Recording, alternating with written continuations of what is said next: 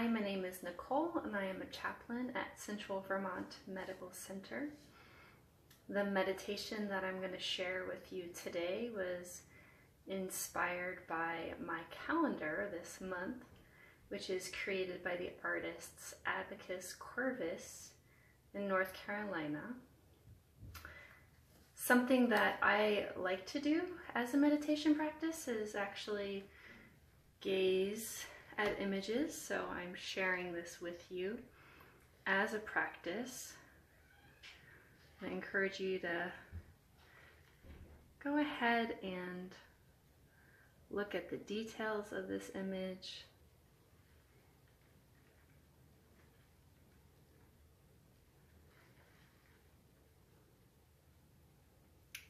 And the message that came with it.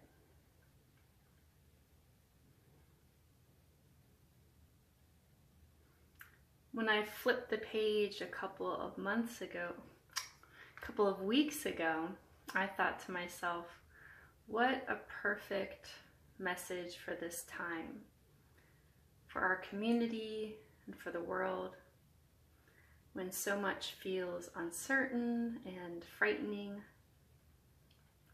to stand brave. See these two goats balancing on top of one on top of the other, and reaching out across this wide divide with a crevice of an unknown depth speaks to my feeling of helplessness so often these days, facing our fragility as humans and really having to accept how vulnerable we are. How do you stand brave in that kind of a situation? Like the mountain goat, connecting to what it is that gives us a sense of strength and stability. And meditation is one such thing. I'm going to put the image down, but I encourage you to think about what feelings it brought up for you, maybe some other images, words, thoughts. Take note of them and try to let them go. If something comes back to you, then maybe that has an important message for you. But for now, I'm going to encourage you, like the mountain goats, to find a really strong connection with the earth. So whether that's from a standing position, really feeling secure on your two feet, or from a seated position, again, feeling a connection with your feet flat on the ground, your legs, your butt on the chair, or wherever you're sitting. But if you can, where you are, I encourage you to lie down on the ground so you can really fully connect with that sense of support. Lying down on a blanket or a mat so you can be comfortable, placing a rolled up blanket or pillow under your knees, supporting your neck if you need to. Having your feet about hip distance or a little bit further apart. And your arms either down at your side, separated away from your body with your palms facing up, or you can try having them more overhead if that feels like what you want to do right now. But whether you're standing, seated, or lying down, go ahead and close your eyes and pay attention to those points of contact with the earth. Feeling yourself being supported. The soles of your feet, the backs of your legs and your seat.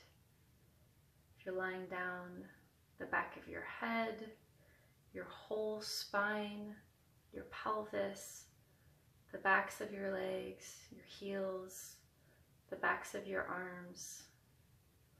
Noticing how it feels to be supported by the earth. Feeling that sense of strength, stability, and belonging that can come from connecting with the earth where you are in this moment. And maybe as your attention is brought to those places of contact, you can relax and feel a little bit more supported in your position in each of those points. Noticing where your weight is held the most.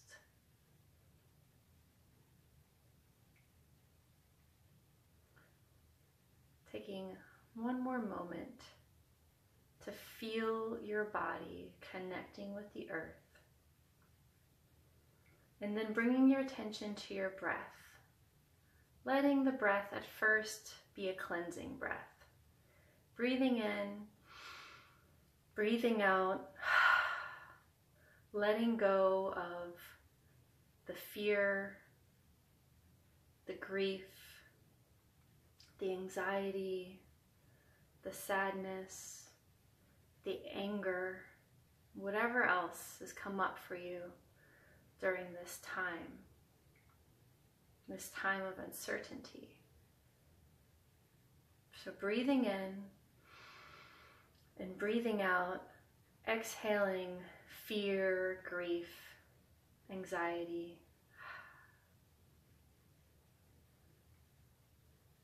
And now just noticing the movement of your breath in your body. Noticing how it feels moving through you. Noticing how your breath moving through you changes the feeling of being supported, whether you're standing or seated or lying down.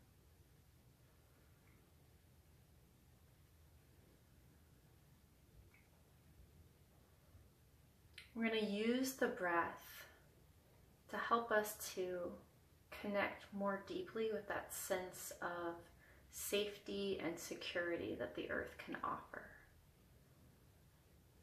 With each inhalation, feel a sense of lightness and peace.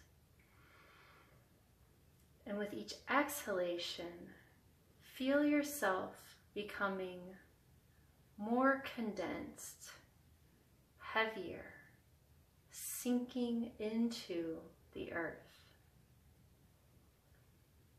With each exhalation, your body becomes more relaxed, heavier, and denser. With each exhalation, the body is condensing into stone, into the earth. Your body is becoming like part of the mountain. Your fears, your grief, your anxiety, your sadness, your anger, floats away as your body becomes more stable, more secure, more supported, becoming more condensed and like the earth.